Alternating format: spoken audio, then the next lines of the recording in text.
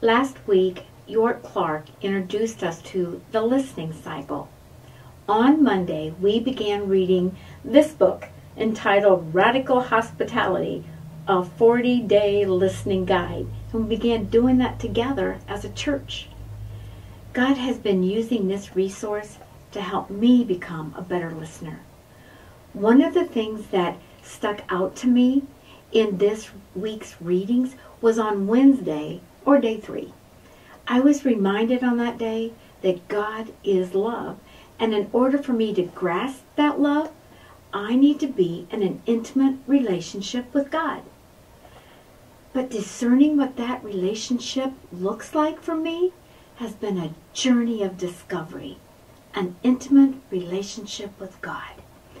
If you haven't started, I would encourage you to start today.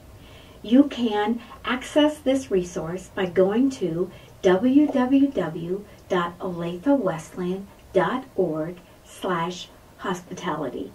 May God use this series to help us posture ourselves to regularly listen to God through His Word, through His Spirit, and through His community of believers.